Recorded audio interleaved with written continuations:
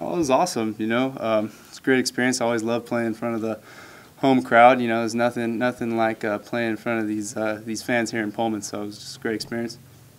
Did, did you feel like anything changed when Jeff came in, just from a rhythm standpoint? Well, I mean, you know, obviously, you know, we started to move the ball. You know, put some points on the board. Um, you know, it's hard to say.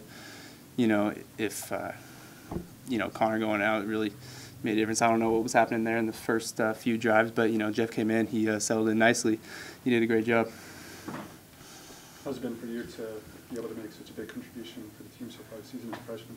Oh, it's, you know, it's been, uh, you know, I just, I don't think of myself as a freshman. You know, I just, I wanted to come in and uh, help this team in uh, whatever way possible and uh, make some plays.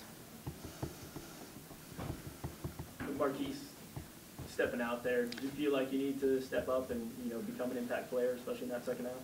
Well, yeah, you know, um, you know, obviously when Marquise, you know, such a, you know, dominant player out there goes down, you feel you got to step up. But you know, you should always, you know, feel like you got to step up. You know, even, you know, when everyone's out there and healthy, you know, you should you should be ready to go at all times.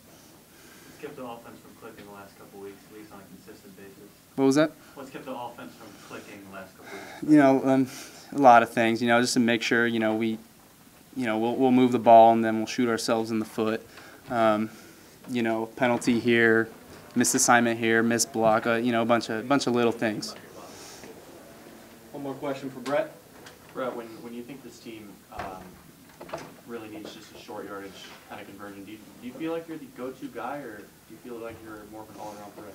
you know, in this offense, you know, anyone could get the ball. You know, really, it's just you know, week in, week out, it just depends on you know who's open, who's gonna be there and make the play. It could it could be anyone.